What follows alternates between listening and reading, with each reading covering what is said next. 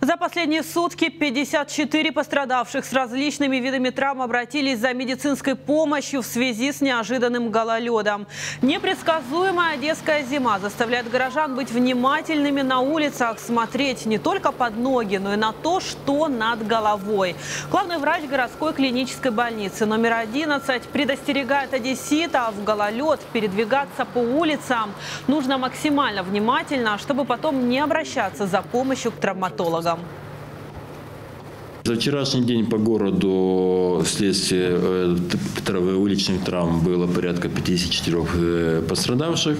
Э, В 11 больниц обратилось 18, госпитализировано 6. То есть э, 12 человекам оказана амбулаторная помощь, они ушли на амбулаторное лечение. Другими словами, э, травмы, которые они получили, не требовали стационарного лечения, наблюдения травматолога в условиях стационара с последующим, возможно, оперативным вмешательством.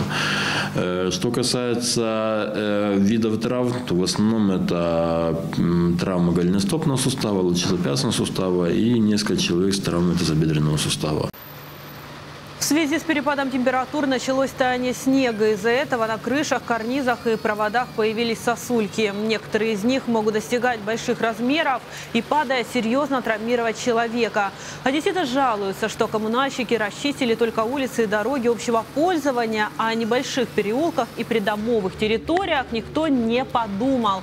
Теперь жителям домов нужно все делать своими силами. Да хорошо, если пройти он там нельзя, между домами. Так дорога почищена, а вот я иду между домами, так вообще нельзя. Пол, полный, как вам сказать, лед.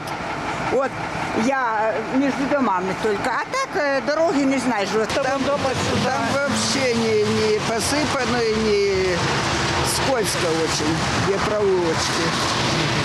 Здесь вот тоже мы прошли, но, слава богу, нормально прошли, хотя и не посыпано. Ну, вы сами видите, что они не очищены, как нужно.